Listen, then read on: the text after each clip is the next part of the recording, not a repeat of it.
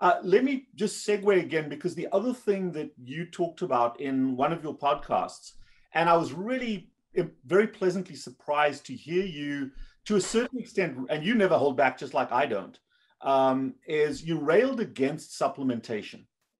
And I was very, very impressed with that because that's something that I have a personal bias against. I believe that my diet should supplement what I need. Obviously, if there's a health issue that's where it's missing, you want to supplement till it's supplemented.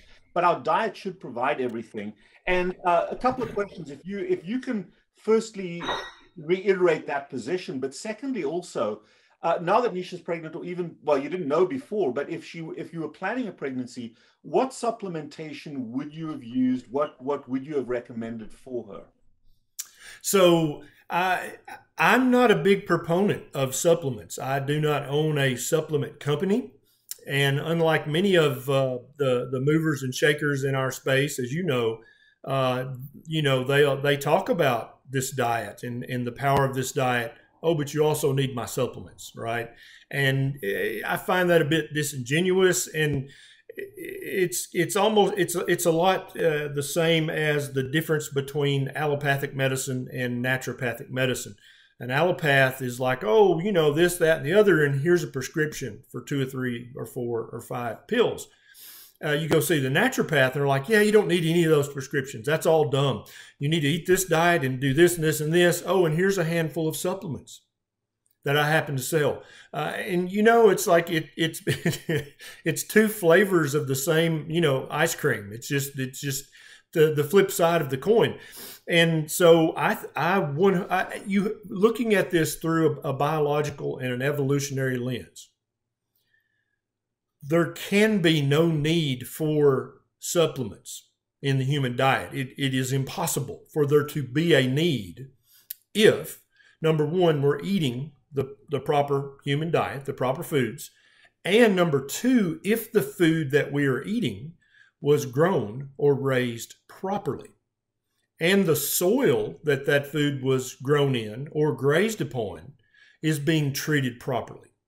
All those things have to be in place. And so any supplementation that I do talk about is either because of someone's geographic location on the planet, that can that can make supplementation necessary, or that they are living in a, a, a food forest, if you'll permit me to use that term, uh, a, a, a desert where even though there are lots of things to eat, they're all nutrient void right? And so if you're if you're living in that kind of food environment, then you may need supplementation. And I tell people all the time, if you're eating a standard American diet, you probably should be taking a handful of supplements every day, every single day for every day of your life.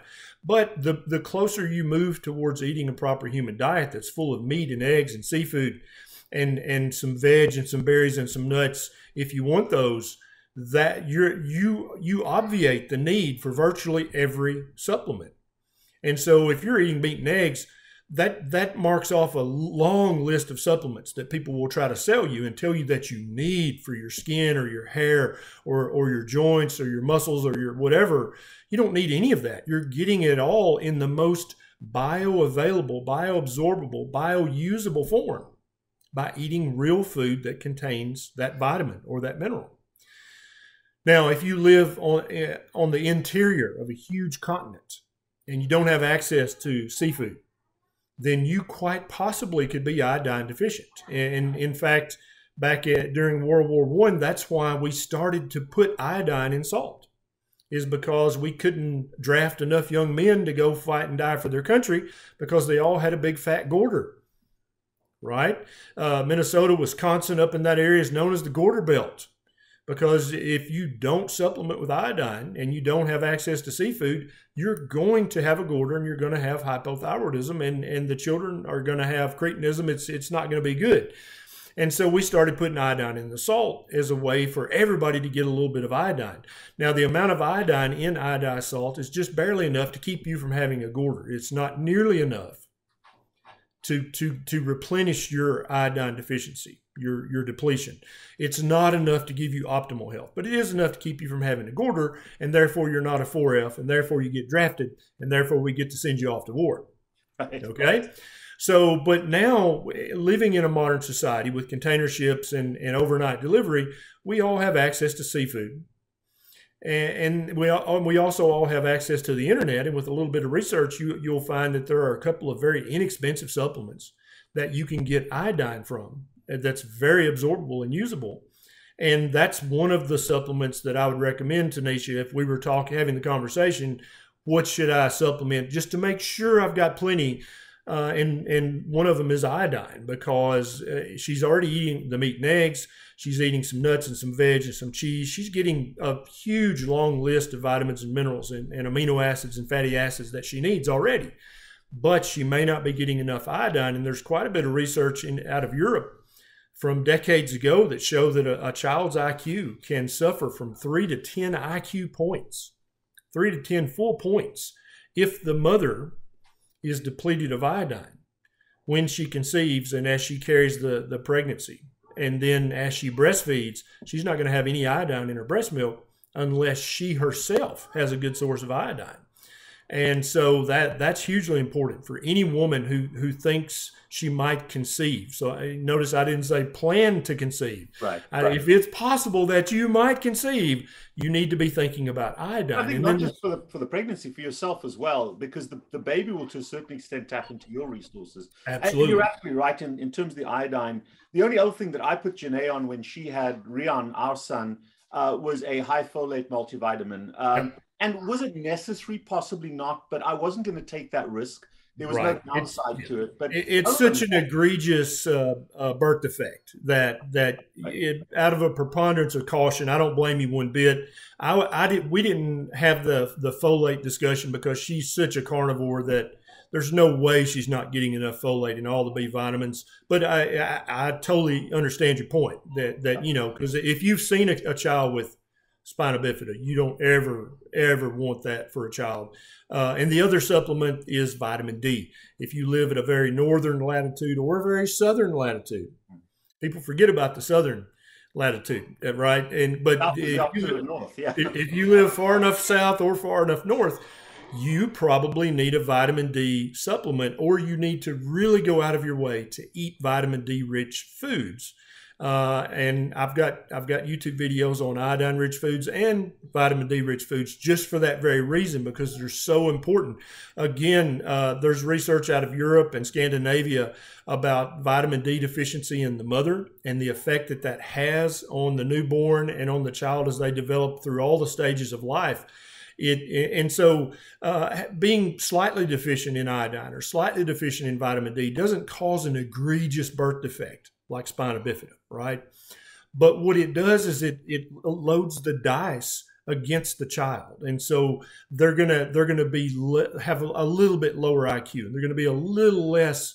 Uh, they're going to thrive a little less, and they're going to, you know what I'm saying? It's almost like you. their potential. So if, That's right. if you've got a certain genetic potential, you may be completely functioning really well, be a very smart kid, but you might be here instead. Exactly. Of, you're absolutely correct, and I think Right. that's a large part of the dietary side uh, th- that is so important. But I love the fact that you and I are both really minimalists when it comes to supplementation recommendation, and we really focus very heavily on the food. And, and, you know, uh, something that I talk a lot about, and you've mentioned this a few times already, is that no matter what the egg is that you buy, unless you interfere with it by eating it, it could have become a chicken. So uh, you know, it's it it really uh, chi- an egg has everything in the right proportion in terms of micro and macronutrients to become a chicken. So if you say, "Oh, I don't eat liver," well, you're eating a chicken's liver every time you eat an egg. It's just deconstructed. So you know that we look to our diet, especially more leaning toward the carnivore side. We look to that side of the diet to provide a lot of those micronutrients that have been part or would have been part of that animal's life in the first place. So, uh, you know, those are all very, very important things. And again, I, I wish you well through this. Just one other comment, just to, to flesh out the, the pediatric or the neonatal side. I had this discussion with a woman by the name of Hasina uh, Kaji, and we'll talk a little bit more about that. She's a physician in South Africa. Um, and we talked uh, extensively about the early childhood period, the zero to maybe four or five years of age. And, you know, Ken, what I looked at the other day, I happen to typically shop in the outside of, a of the store, in the outside lanes. And I was looking for one particular thing, actually for my dog, and I had to go to the interior lanes. And I'm a pediatric surgeon, I, I, I deal with kids a lot, but I was just astounded at these two rows of just wall to ceiling crap for kids toddler formulas, toddler drinks, and the marketing and the rubbish that they that was stated in the labeling was just so wrong. And there's this massive multi-trillion dollar industry that focuses on providing food for the zero to four-year-olds as if they're not human beings. Because uh, we raised Rion, and I think you've done the same with Beckett, and you're going to do the same. Rion has always exclusively eaten what we eat.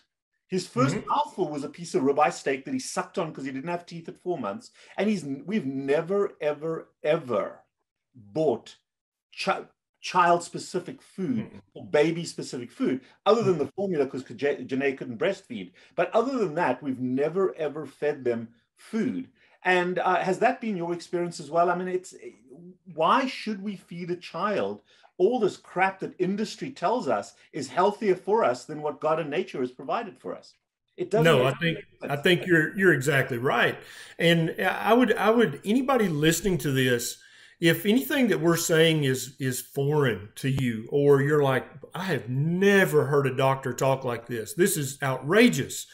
You have to understand, in order to understand a human being, you have to think about every single question through a physiological lens, through a biological lens, and through an evolutionary lens. You have to consider the question at hand. So if your question is, should I buy those cute little Gerber little snack bites that are made of wheat? It's whole wheat right? And it's, you know, it's got canola oil, so it's no saturated fat whatsoever. And there's only a tiny bit of sugar added. And they and added extra vitamin D and vitamin C. They added some vitamins, yes. The, and, and I understand those vitamins were made in a chemical factory. They're, they're not naturally occurring vitamins, but still, they've got to have some benefit. So if your question becomes, will my child suffer in some way? Physically or emotionally if I don't buy a single product from Gerber or Kraft or Heinz or Kellogg's or, or, or, or Post or Craig Quaker? Will my child suffer in any physical or mental way? And the answer has to be. It has to be no. That's not my opinion. That's not Dr. Cywes's opinion. That's just a biological fact. We've only had access to such foods for the last less than 100 years. And Ken, there's still a lot of people in this world that don't have access to those foods. That's right. So that's exactly you're right. absolutely right. And I think I think that is just such an important message because uh, you know I don't have TV at home, but the other day I was watching a football game at a friend's house, and every 10 minutes an ad came on for pizza. Now I haven't eaten pizza in many years, but at the end of the thing is that where's the number for pizza? we've got to order, and obviously we didn't order it. But the bombardment, that subliminal bombardment of you must. Nobody advertises steak and broccoli on TV. No, uh, and I think I think television ads are very telling, Doctor. Let me uh, let me tell you, my I have a little um, uh, a little thing I do. I we never watch television at home. Never watch network television ever. Right? We just don't. But I have this uh, little thing I do every time I go to speak at a conference and I'm staying in a hotel. I will watch one of the news channels, and I alternate between CNN and Fox News because I'm completely ambivalent when it comes to politics. And so, whichever one I watched last time, I'll watch the other one this time. And every commercial break, there is a junk food ad, and then there's a pharmaceutical pill or injection ad. Then there's a junk food ad, then there's a pharmaceutical ad, and then back to our normally scheduled program. And then 13 minutes later, that same thing repeats. And I think it's very telling what they're what they're advertising uh, you don't have to advertise steak and broccoli because we know intuitively those things are very healthy and they're, they're part of a proper human diet. You don't have to trick or delude or propagandize people into buying those things. We just know that those are good for us.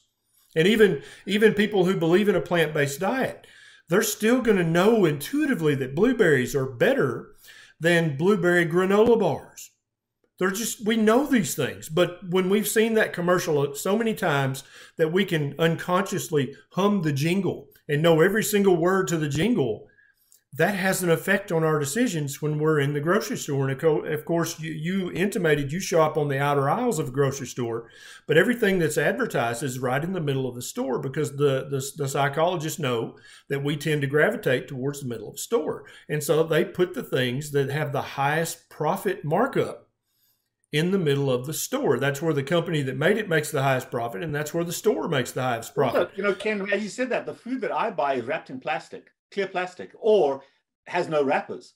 The stuff you buy in the center of the aisle all have these sexy wrappers with beautiful colors and big words where they market to you. You don't have to market a piece of steak to me. All I want That's to know right. is what the price is. Right. But all that crap on the interior aisles, eh, the marketing is just whether it's ads on TV or the marketing on those inner aisles, you can't not buy it.